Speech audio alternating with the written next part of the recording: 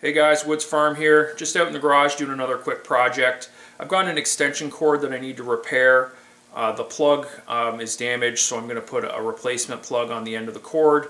And this is a pretty uh, quick and easy thing to do, and it saves a lot of money. You don't have to go out and buy a new extension cord. Um, you're going to need some basic tools, a couple of screwdrivers, uh, a slot and a Phillips. Uh, side cutters help. Uh, wire strippers are also nice to have, and an X-Acto knife. Um, you can do this with just an X-Acto knife uh, and a couple of screwdrivers if you don't have a lot of tools. And obviously you're going to need the replacement plug. Uh, these are really inexpensive and you can pick them up at any hardware store. Uh, before I get started, um, somebody in the comments is sure to say I'm doing this wrong, but I can say that I've done several of these and never had a problem or had any sort of electrical fire.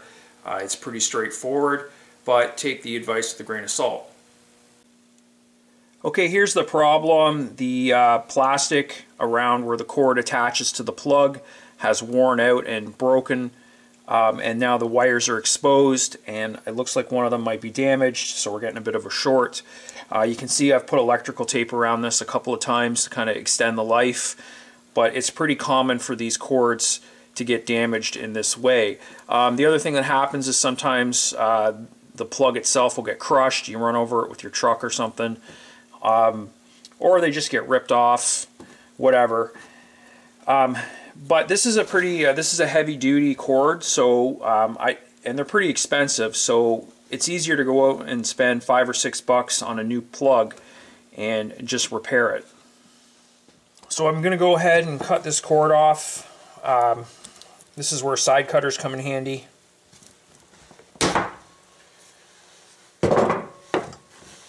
And I'm going to remove all this uh, electrical tape. Okay, I've got most of the tape off and I've got the wires exposed. Um, if there's any sort of a plastic protective thing, you're going to want to cut the wire back um, past that just to get fresh, uh, good wire. Okay, so that's going to simulate if you've got like a, just a, a, break in the cord or whatever. Um, you're going to have something like this. What you want to do is take your X-Acto knife and real carefully just cut through the outer sheath. You don't want to cut into the wires on the inside and you should be able to peel that back.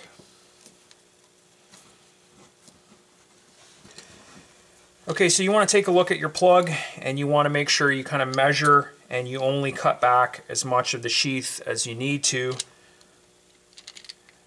so, and you want to make sure your wires are roughly the right length. So that's about right. Okay, now you're going to want to take the sheath off the actual three individual wires. Um, about half an inch should be good. Um, this is where wire strippers come in handy. If you got a set of wire strippers like this, these are super useful.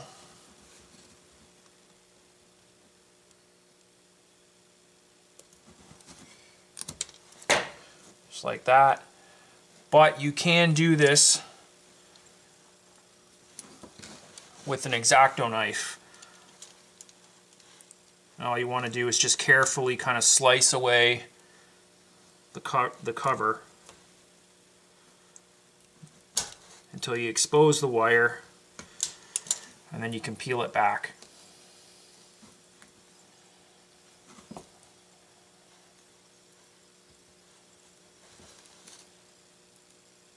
like so. And then you just any excess of the plastic you just cut that away. All said and done you'll end up with something like this. You want to make sure not to forget the uh, cover piece or the end cap um, usually you got to thread this on ahead of time, so do that. Okay, so you're going to look at your plug and you're going to see a green terminal, uh, and that's for the green wire and that's ground. That's pretty straightforward. And there's also going to be a silver and a gold terminal. In my experience, it does not matter what wire goes to silver or gold, but an electrician will tell you different. Um, in this case, it appears the black wire goes to the silver and the white wire goes to the gold. And that's just based on me looking at the old plug and seeing how the wires were arranged. Just going to loosen off the screws on these terminals.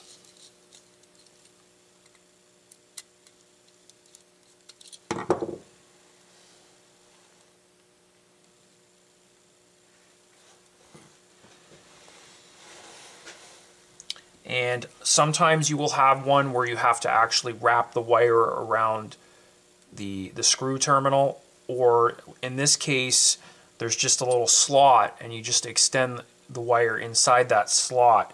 And when you put the screw down it clamps onto it. So this style is a lot easier to deal with. Okay all said and done you'll end up with something that looks like this. And then you just slide the cap over line it up and screw it together.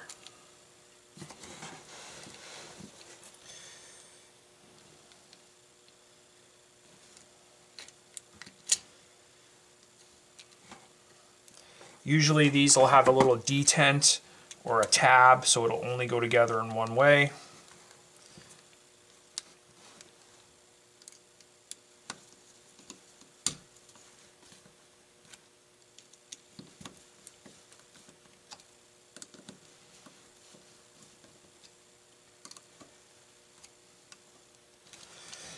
And this style also has like a clamp here that clamps down. Just tighten that up and you're all done.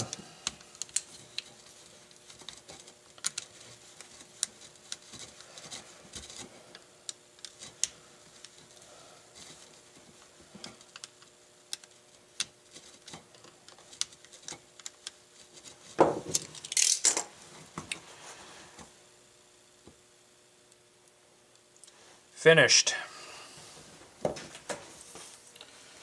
And if you're wondering, we'll test it out.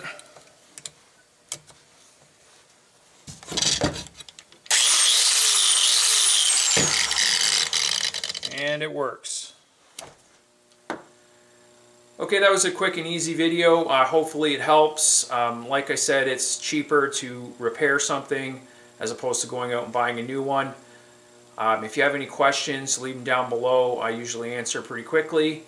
And uh, if you want to see more videos from the Woods Farm, uh, definitely make sure to like and subscribe. As always, thanks for watching.